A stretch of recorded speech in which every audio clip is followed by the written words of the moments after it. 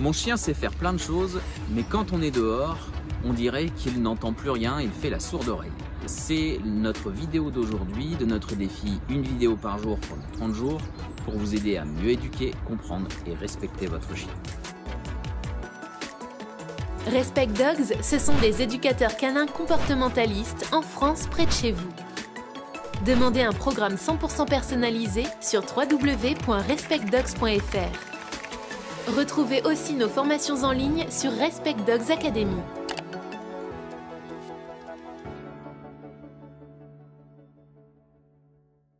Nous répondons donc aujourd'hui à la question de Axel qui nous parle de son beagle de 2 ans.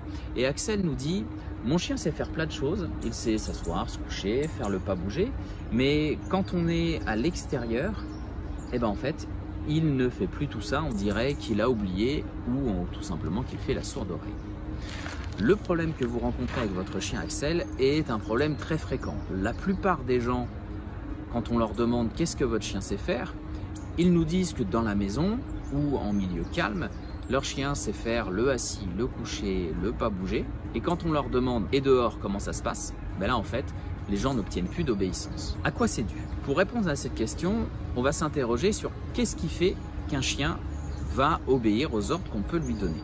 Votre chien va vous obéir pour trois raisons en général. Vous lui proposez quelque chose qui l'amuse. Vous le motivez avec le jouet. Vous lui proposez quelque chose qu'il aime bien. Friandise, caresse. Et le troisième point, il vous obéit parce qu'il vous respecte. Et c'est souvent sur ce troisième point qu'il nous manque quelque chose. En fait, on a une grande mode de l'éducation 100% positive. L'éducation positive existe depuis, je pense, le début qu'on éduque des chiens et qu'on leur demande des choses. L'homme a appris à obtenir de l'obéissance du chien avec de la récompense, avec de la caresse, avec du jeu. Seulement la limite de l'éducation 100% positive est en quelque sorte, tu me proposes ça, qu'est-ce que je peux avoir en face? Donc en extérieur, si vous proposez à votre chien une friandise, mais qu'en fait il trouve plus intéressant le chat qui est là, la poule, ou tout simplement autre chien qu'on génère, les, gens qui sont autour, la récompense aura sa limite dès qu'il y aura plus intéressant à côté. Alors Axel, c'est top déjà d'avoir réussi à faire comprendre à votre chien les positions assis, couché, le pas bouger, tous ces exercices-là. Maintenant, ce qu'il va falloir, c'est, on va dire, euh, bah, quitter la maternelle et puis aller, euh, aller au CP, quoi. Euh, pourquoi je vous dis ça? Parce qu'en fait, euh, souvent ce qui se passe, c'est que quand on demande aux gens qu'est-ce que votre chien sait faire, euh, ils sont encore à la friandise. Là, votre chien a deux ans. Donc je me pose la question suivante. Est-ce que dans la maison, pour obtenir ces exercices-là, on doit encore à chaque fois avoir la friandise? La friandise, c'est excellent pour apprendre les mouvements au chien, pour en fait le guider et qu'il associe bien le mot avec l'ordre que vous voulez lui donner. Mais après, on va essayer de s'en détacher et d'obtenir l'obéissance à ses positions sans être forcément obligé de soudoyer son chien avec une friandise. Il y a une différence entre apprendre un mouvement et l'associer à un mot, là c'est top, et euh, j'ai compris le mouvement, mais si tu ne me proposes pas ce truc-là, je le ferai pas. Donc peut-être que déjà, le problème il est dans la maison.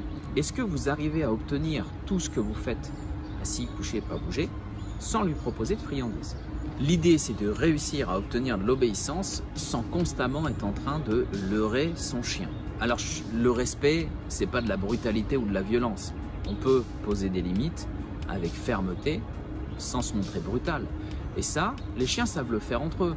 Quand une meute est bien structurée, et eh ben en fait, même les, retroussements de babines, les grognements, on n'en a quasiment plus parce que les règles sont claires et cohérentes. Chaque individu connaît sa place et c'est ce qui est permis ou pas. Le conseil que je voudrais vous donner aujourd'hui pour Pop, c'est de commencer à essayer de vous passer des friandises dans la maison, d'empêcher une désobéissance avec un léger inconfort. Un léger inconfort, ça peut être vous avez demandé à votre chien de rester à sa place et à ce moment-là, il essaye de sortir, vous faites barrage avec votre corps, par exemple, pour lui faire comprendre que ce n'est pas possible de sortir de son panier. Ça, va permettre de commencer à faire comprendre à, votre chien d'être un peu plus attentif aux positions de votre corps et aux messages que vous envoyez et d'être un peu plus dans une attitude de respect que plutôt, ah, est-ce qu'elle a la friandise sur elle, est-ce qu'elle a la friandise dans la main?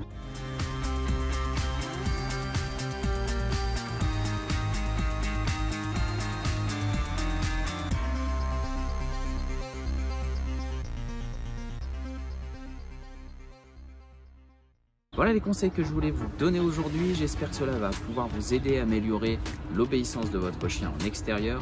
N'hésitez pas à partager, commenter cette vidéo et je vous dis à bientôt.